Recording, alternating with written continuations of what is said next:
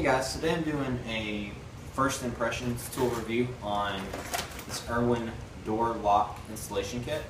I have a hollow core door I'm replacing in the house I'm working on. And the one they wanted didn't come pre-drilled, so I was going to have to pre-drill it myself, and so I thought it was worth it to pick one of these up and try it out. They're about 20 bucks, so let's open it up and get started.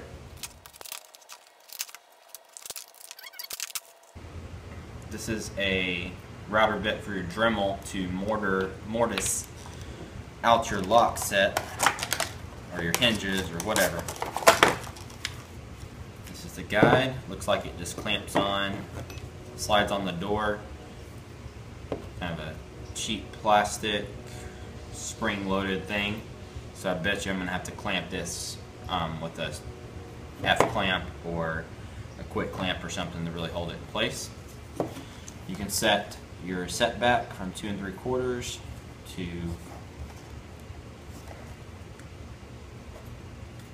blocks on both sides to two and three eighths, which is just standard doorknobs. And comes with your, I believe that's two and an eighth. I haven't looked at the measurements yet. You've got that for your latch instructions. Assuming this is for three and a half inch uh, hinge mortise. That's nice. This is your template for your um, latch plate.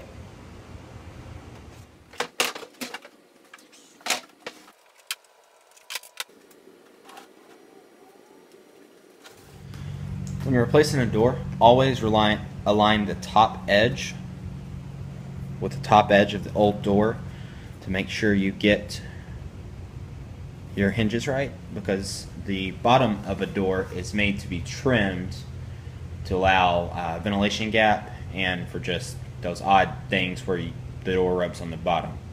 So the bottom of your door might be trimmed, so don't be surprised if the door you buy is a half inch to an inch longer than the door you're replacing. Just line up the top edges and then trim the bottom once you get the hinges lined up. So now you just take a square and line these up.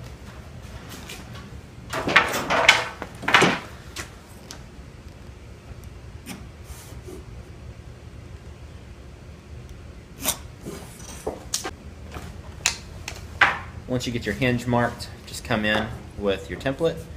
Um, the template's marked for three and a half inch hinges. These are three and a half inch hin hinges. As far as I know, with every door I've ever hung, it's always been three and a half. I think with a heavy duty exterior security door, it might be four inch hinges, but I don't run into that a lot with the residential work I do. So you line that up there, run a screw in, and see how that lines up with this screw right here on the bottom? That's going to be the first hole for the, your hinge mortise.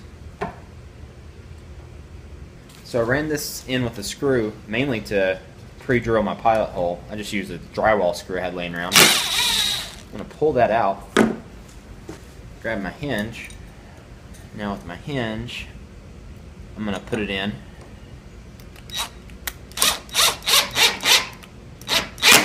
That's awesome. I've got the perfect offset of what it's supposed to be. So, so far we're looking good. And I'm just going to come around, trace the outline of this guy.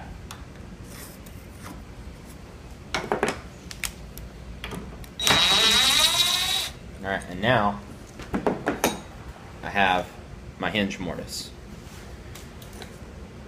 And I can chisel it out, but I'm probably just going to put a half inch bit on my router and just route that real quick.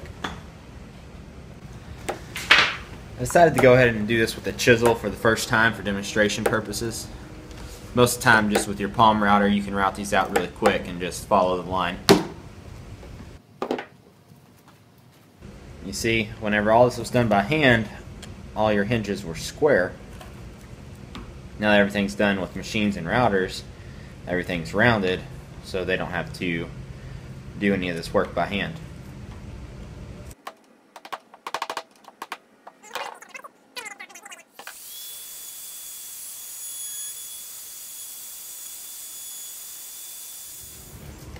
So even with my little slip your router gives you a lot better, cleaner hole a lot quicker.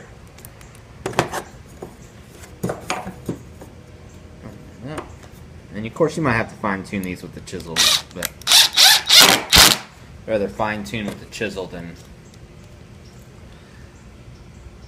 have to do the whole thing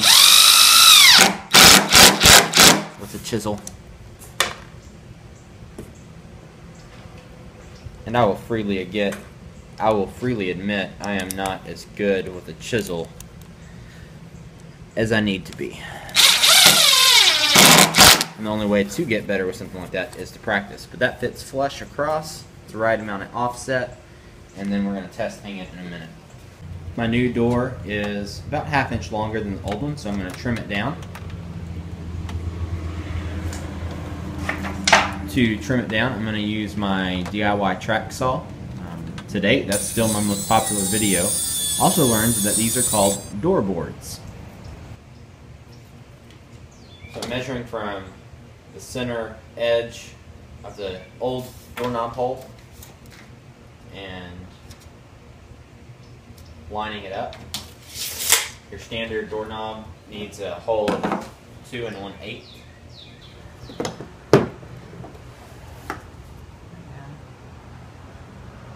Slides on. Just make sure it's aligned, I guess. Looks like it itself aligns in the center. I need to put two screws in. I'm just going to thread that on, self-tightening so it won't come loose. So once my pilot comes out the other side, I'm going to drill from the other so I don't have a big tear out.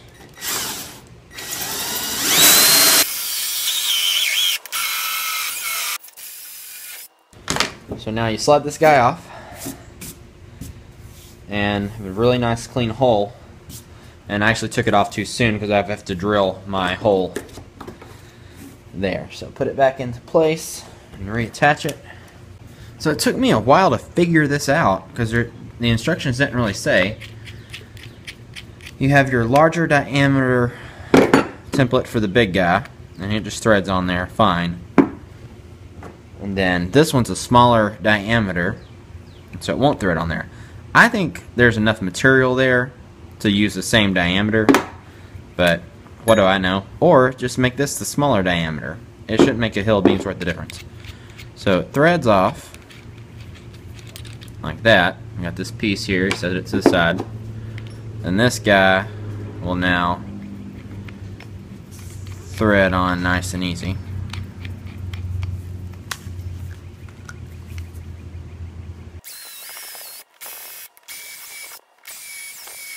Now the latch is bored, you take this template, has two little pins that'll fit in your screw holes.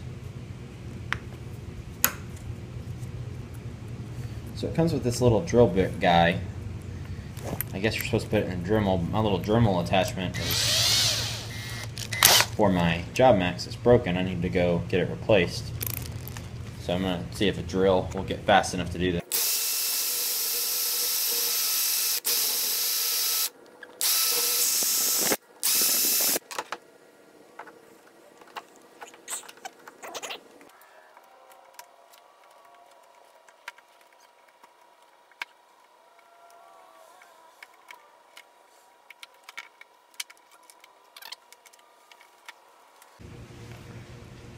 So all in all, I think this kit is all right.